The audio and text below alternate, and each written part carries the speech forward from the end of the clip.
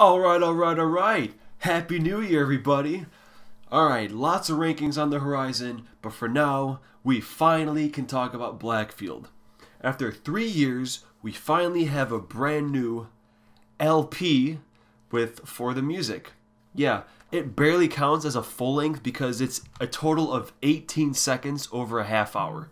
But in any case, we gotta look back on all the records and see which one stands above the rest. So without further ado, let's get started.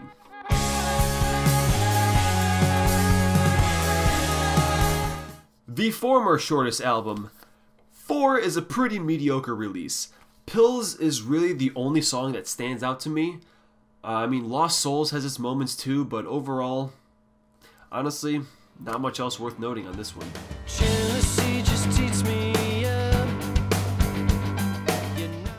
Alright, yeah, I know a lot of you guys just love the first two Blackfield albums, you know, the Steven led ones. But with two, again, it's not that memorable. But this one has Epidemic, which is perhaps up there with my top favorite Blackfield songs. Uh, mostly because that little piano piece that they keep doing. I, I just think that's a really. I don't know. I'm not musically inclined enough to, like, tell you exactly why that sounds good, but you know what I'm talking about if you know the song. But also, and I'll discuss this more in a bit, but I really prefer when Steven and Aviv share vocal duties instead of just having this is Aviv songs, these are the Steven songs. You know, it's, it's supposed to be a collaborative effort, and when they actually collaborate, it's much better. Other than that, Where Is My Love is another great track, but that's also on the first album. And I also really like The End of the World, but unfortunately, that's a cover, so I can't really count it towards this one. And other than those three tracks, you know, not much else is on there for me.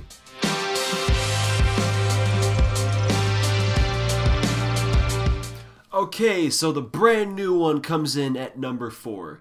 My track standouts are the opening title track, Garden of Sin, and I absolutely love Under My Skin. And I always hate when a single, one of the singles is my favorite track off the album, but you know, sometimes it be like that, and it's a really good song. Okay, and as I just mentioned earlier, with the Steven and Aviv sharing vocal duties, this album doesn't have any of that. You know, in fact, there's three Steven led songs, and they're all packed together in the middle of the album, and that's that really bugs me because it's like here's the Aviv songs, then you have a Steven block, and then it ends with Aviv again. I think it's just the way they uh, ordered the tracks. Like if it was more spread out, but it's just really weird because it's like it's like two albums, you know. Like here's his stuff, here's his stuff, and they just kind of push them together. And because of that, it doesn't really feel like a collaborative effort. It's just like an Aviv solo album with just featuring Steven. With he has a block in there, and this isn't necessarily a bad thing. Blackfield is very much Aviv's band now, and I, for one, have grown to very much like his style. I feel like most people, myself included, started listening to Blackfield because they knew of Steven Wilson, but I thoroughly enjoy what Aviv does. So, that's my little mini review of For the Music. It's fine, middle tier Blackfield, but it's alright. You know, not every new album always has to be at the top. And coming in at number three is the debut album. Again, I know you guys love these albums, and don't get me wrong, I like them too. Uh, I like the tracks, you know, Open Mind, Lullaby, Cloudy Now, and the title track, Blackfield. Maybe it's just because I'm going, I, I went through them all in a row, uh, but a lot of the songs, I just, I just can't even tell them apart anymore. Like, they have such similar vibes. I feel like most of the fan base is either going to have this at like one or two, but personally, I'm trying to rank them as like a whole package instead of just how many, you know, songs stand out to me. So this one is about half and half to me.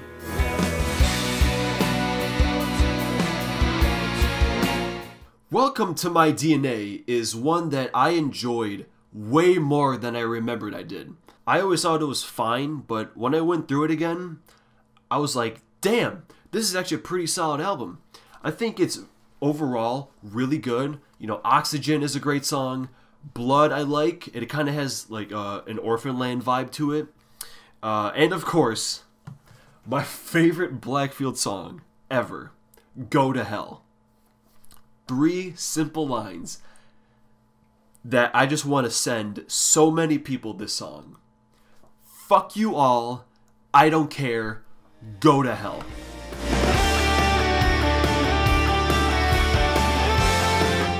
Blackfield 5. Just like Welcome to My DNA, I think 5 is the most consistently good release the band has.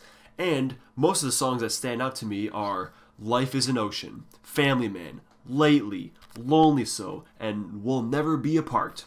This is the only one that truly feels like a collaborative effort from both of them, so it's like the best of both worlds.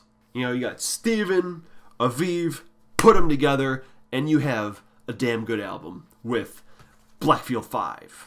Alright, so that concludes our Blackfield list. Be sure to let me know what you guys think. What are your favorites? What do you think of the new one? And so we have about another month before Steven's new solo album drops, even though he's kind of released like 60% of it online already. But in the meantime, I think it's time we get to some instrumental music. What do you guys think? Hmm. Yeah, instrumental music, because I'm in the mood for it. Now, how about a band where some of the members in it have played on Steven's solo albums? Yeah, you know the band. I'll see you in that video. So for now, take care everyone.